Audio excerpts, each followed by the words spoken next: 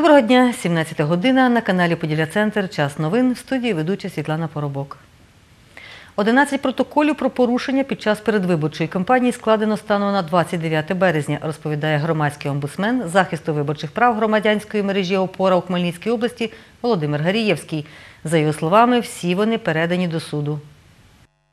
Переважна більшість порушень це пов'язані з агітаційними матеріалами, розміщення агітаційних матеріалів, наприклад, без вихідних даних, тобто не вказано, хто замовник, хто виготовив, який тираж, особа відповідальна за друк, розміщення не встановлених місцях. На законі заборонено розміщувати на органах державної влади місцевого самоврядування, на пам'ятках архітектури, місцях, що перешкоджають дорожньому руху, або ті, які порушують правила благоустрою. Ну, наприклад, те, що порушення фіксувалися в Хмельницькій області, це розміщення на балконах житлових будинків, оскільки згідно правил благоустрою, це е, зовнішні фасади будівлі. Там потрібно погодження місцевого самоврядування. Відповідно, поліцією складалися протоколи про адміністративні порушення.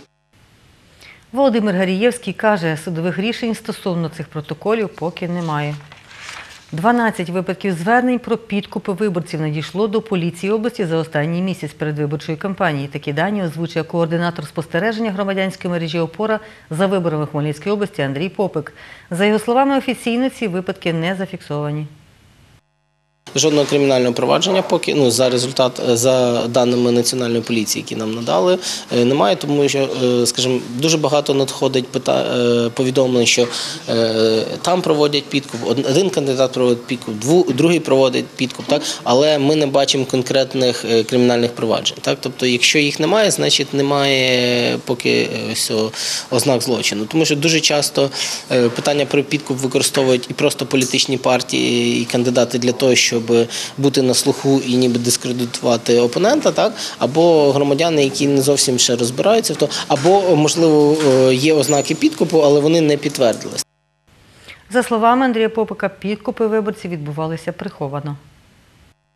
Що таке підкуп? Підкуп це коли людині пропонують е, якісь матеріальні вигоди за її голос, або за неучасть в голосуванні, або за вин, винос бюлетеня з виборчої дільниці. Так, тобто е, за ось такі речі. Якщо є така пропозиція, так е, тоді це однозначно є підкуп виборців. Так питання в тому, що такі речі вони не робляться на вулиці, ніхто не стоїть з табличком куплю голос. Так, тобто, якщо такі речі відбуваються, вони відбуваються конспіровано, відбуваються з якимись, е, скажімо, через яких низку попередньо знайомих осіб, і тому виявлення їх зазвичай важке.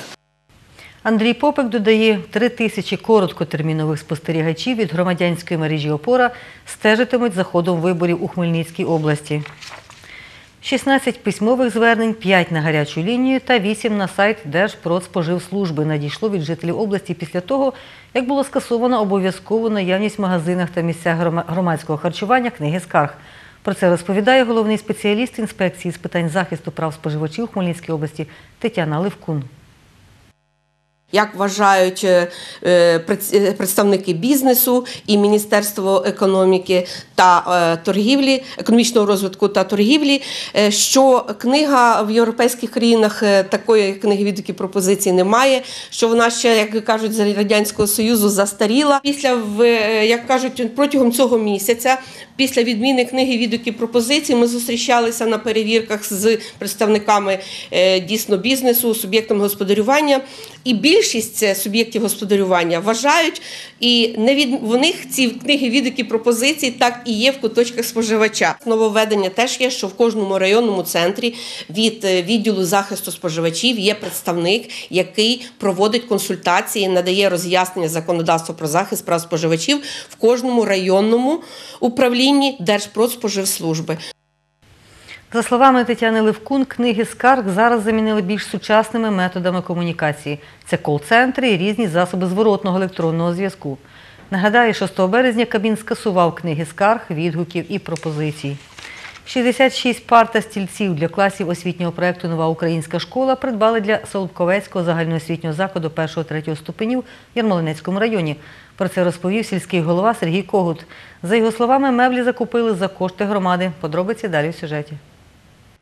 Сучасні одномісні парти для учнів початкової школи отримали у Солопківцях Ярмолинецького району. На сьогодні всі початкові класи повністю оснащені меблями за стандартами нової української школи, каже директорка Солопковецької ЗОЖ Наталія Ткачук. За її словами, заклад потребує ще заміни меблів та техніки в інших класах. Планується ще на е, природничо- е, природничо-математичний цикл.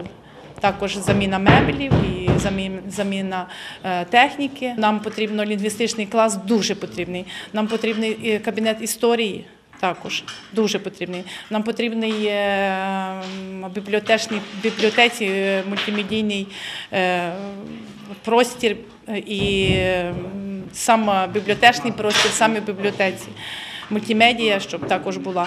На території громади діє три школи: Солопковецька, Глушковецька та Стріховецька, в яких загалом навчаються 376 учнів. Минулого року на обладнання для молодших класів громада до освітньої субвенції додатково виділила 300 тисяч гривень. Цьогоріч за кошти громади планують закупити інтерактивні дошки. Про це каже Солопковецький сільський голова Сергій Когут.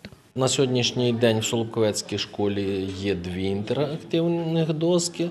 Ми хочемо, щоб у нас е, в кожній школі було мінімум е, дві доски інтерактивні.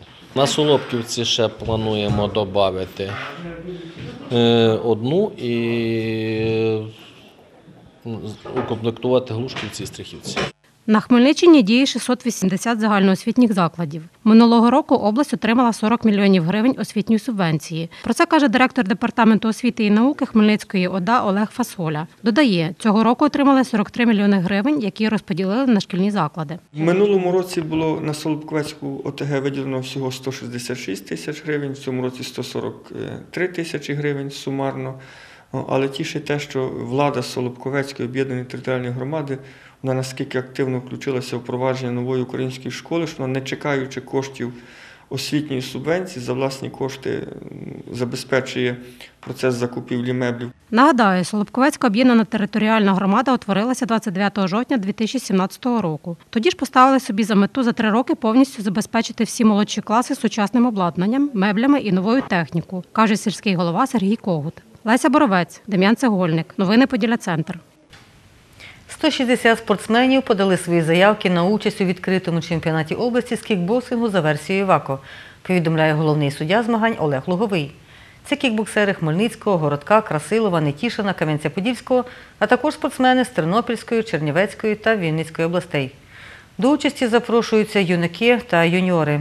Олег Луговий каже, за підсумками відкритого чемпіонату Хмельниччини суддівська колегія і тренери федерації формуватимуть збірну команду області для участі в чемпіонаті України. Ці змагання відбудуться 11 квітня. Сьогодні в учасників день приїзду і зважування, а в суботу об 11 годині розпочнуться поєдинки за правилами фул-контакт, К1 та лоу-кік. Відбуватимуться змагання в Хмельницькому спортивному клубі на вулиці Проскурівській, 66. Наш випуск на цьому завершено. Наступний випуск новин вийде сьогодні в ефір о 20.50. І я нагадую, що всі наші випуски ви можете переглядати в зручний для вас час в мережі YouTube, а всі наші матеріали в мережі YouTube на нашій офіційній сторінці в Фейсбуці та на нашому сайті. До побачення.